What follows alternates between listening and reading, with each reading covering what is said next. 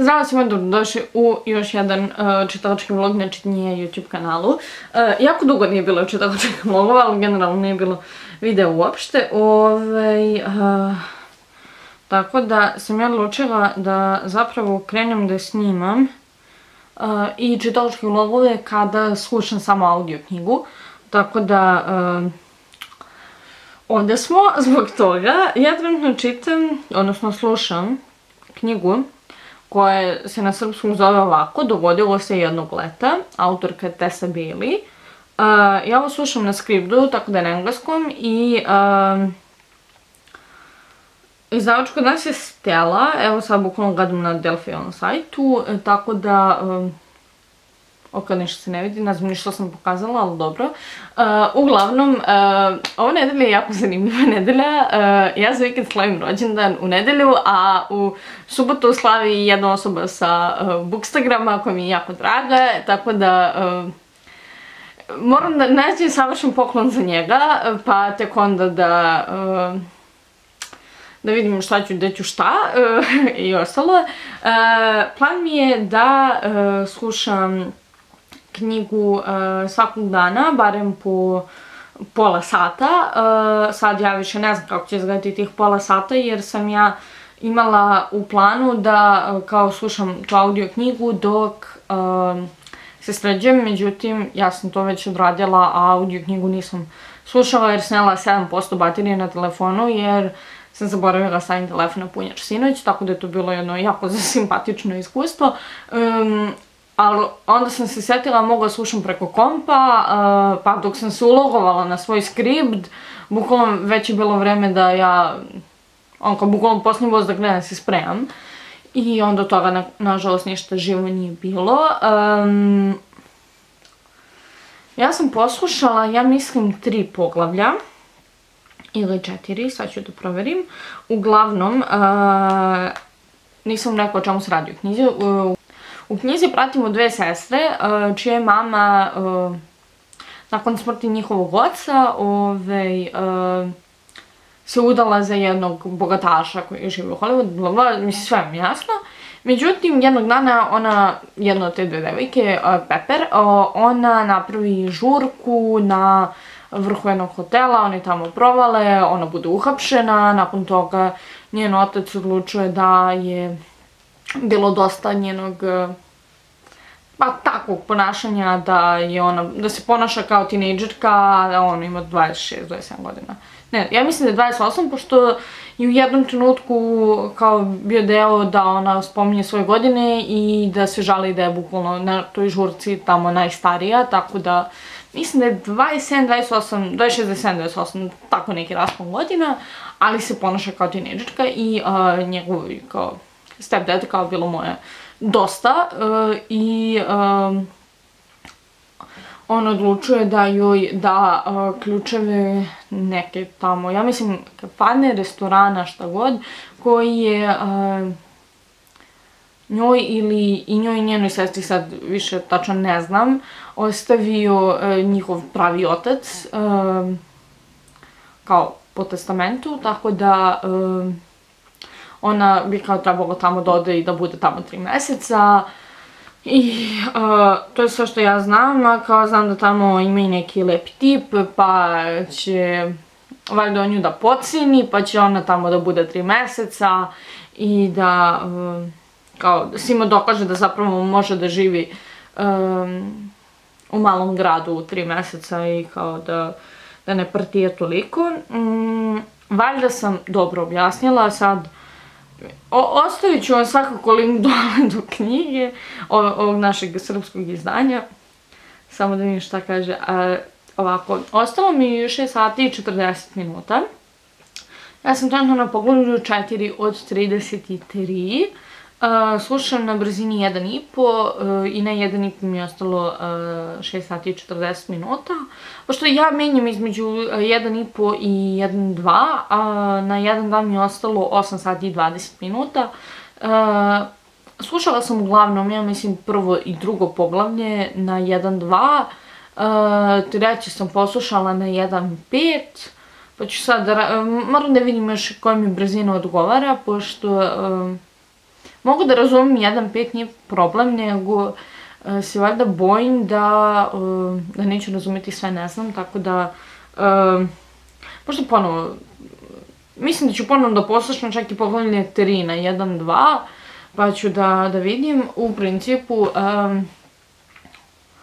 ja sam malo bolesna, mislim, ok sam, samo uh, sam, ima onaj osjećaj kod da ću da se razbolim, ako znate na što mislim. I sve ću da gledam da narednih nekoliko dana budem manje aktivna i da ostanem kod kuće i da učim, ne znam da radim. Pritom, mene jako boli ruka, ja sam promijenila, okrenula sam dan i noć, mislim, katastrofa, tako da, pored svega ovoga, ovog četvrtskog vloga, ovo jeste neki mi način da e, pokušam da se vratim u svoj normalan život. Tako da, e, nadam se da će mi barem ovo snimanje, barem malo pomoći u tome. E, I to je to, ja idem sad da sredim sobu i da slušam audio knjigu, pošto uh, ja mislim da ne postoji čitalački vlog gdje nisam rekla da mora sredim sobu. Um, do duše imam dve fotelje na kojima je samo napacan veš, tako da nije ništa, ništa bitno. Mislim, jeste bitno jer ne mogu da sedim na foteljama i ne mogu da čitam i da radim, ali e, nije, nije neki veliki haos, tako da samo treba se složi, ne nešto što treba se baci na pranje. Tako mislim, ja uglavnom imam odvojenu jednu fotelju na kojoj je čist veš, jednu na kojoj je prljav, tako da samo to treba sredim. I e, ne znam koliko će mi trebati vremena za to iskreno. Ja ću da se javim večera, sutra, ne znam. Uglavnom kad budem imala nešto da vam kažem, tako da... To je to, vidimo se ljudi, moji dragi, ja pričam već 7 minuta katastrofa.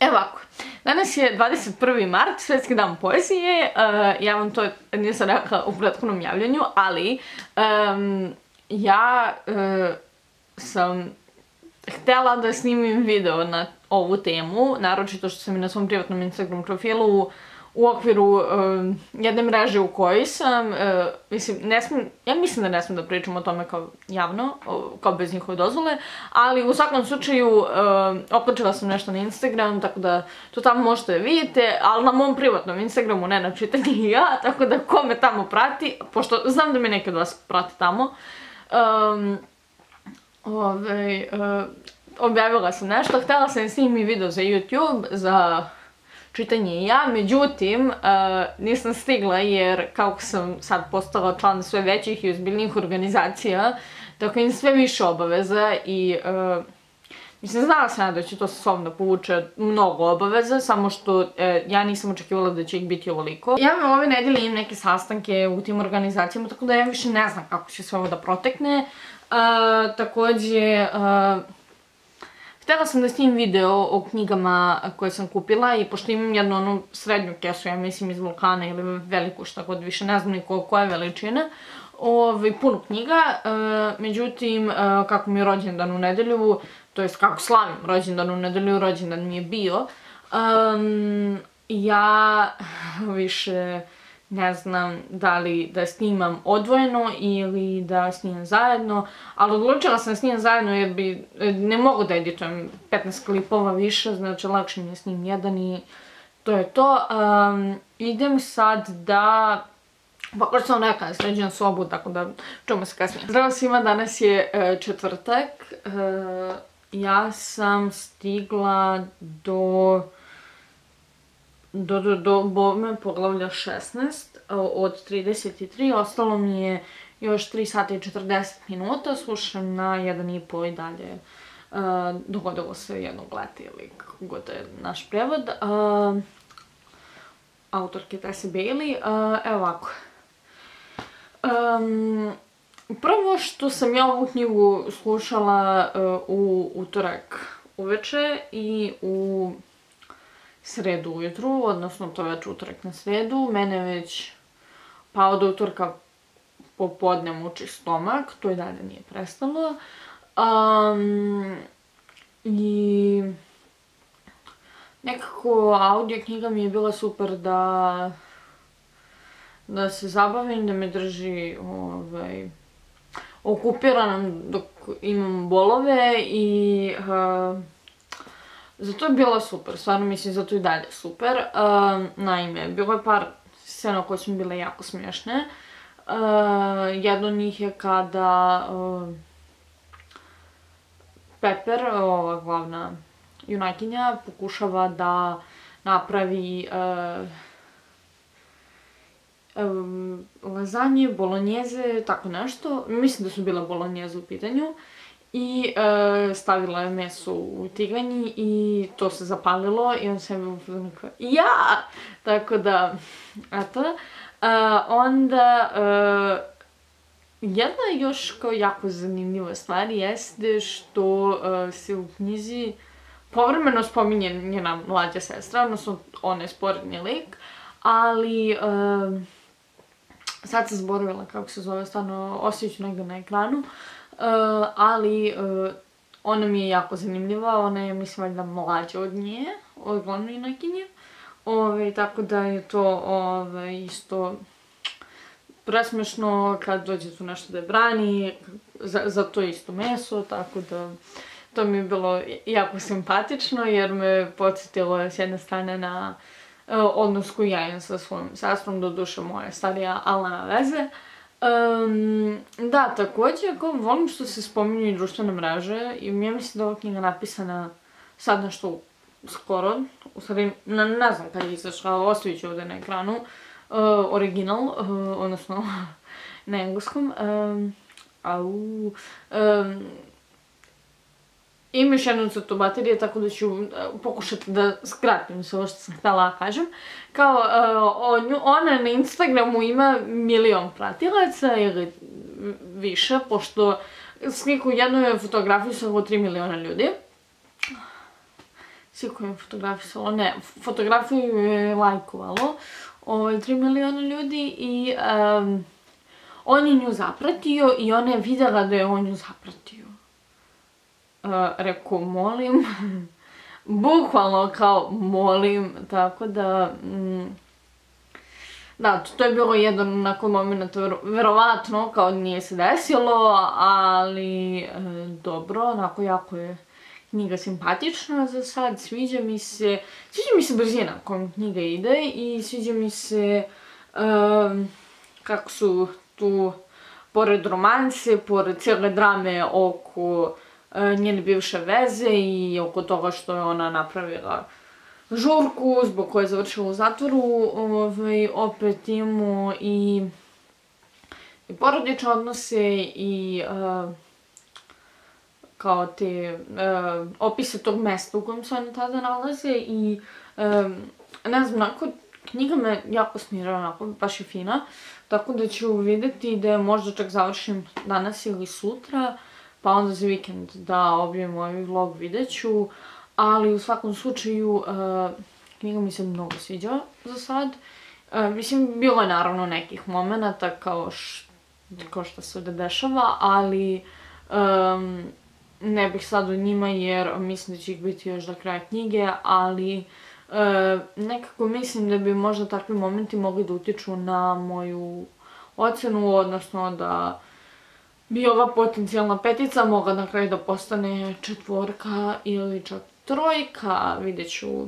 Mislim, sve zavisi naravno, osnovom još 3 sata i 40 minuta, tako da... Mm, ne znam, reći ću vam kad barem poslušam ili još jedan deo ili kad je poslušam cijelu, tako da e, čujemo se onda sutra, preko sutra, možda čak i večeras, ko zna, vidjet ćemo. Zdravo ljudi, ovaj, danas je ponedeljak 27. mart i meni je ostalo još sat 11 uh, audio knjige. Uh, htjela sam da je završim još u subotu uveče, međutim nisam uspala jer u subotu sam imala gomila obaveza i na kraju je krenuo onaj pljusak, pa sam završila u uh, knjižari Štrik i onda sam tamo kupila još knjige, ali to ćete sve vidjeti u holu, koji će, ja mislim, biti video nakon ovoga. Ja sam, ovaj, um, ne znam, nekako, uh, ne mogu da kažem da mi se ne sviđa knjiga, ali ne mogu da kažem da mi se pa sviđa. Ima dobro momente, ima i neke loše momente, ima neke momente koji su ok za sad, onako baš, baš ne znam šta da mislim i jedva čekam da je završim, da napokon uh, se priča dovede do kraja, jer je opet sad izbila neka drama, a je ono, otprilike još sat vremena do kraja, tako da a, vidjet ću još. Um, radujem se tome da je završim, ne čitam je dugo, nego prosto samo želim da da saznam šta će se dogoditi, jer tako mi daje neke pomešane signale da samo razmišljam o tome u kom će pravcu dalje da ide priča. Trenutno su priznali jedno drugom da vole jedno drugo, pa je to sad, jel te, ozbiljna stvar pa će sad ovaj da da, da valjda raščiste taj njihov odnos i to je to, ja sad idem da snim dalje video rođenski hol, ja sam juče proslavila rođendan, svoj 20. i nakon toga ide prvo taj video, pa ovaj, pa tek onda još jedan hol koji, koji je katastrofalan jer sam u posljednje mjeseci po dana, uh, znači, uh, malo malo buđem u knjižaru i katastrofa, proglasit ću bankrot na kraju svega mi, tako da idem ja sad da mm, da da, da, da snimam ovaj video.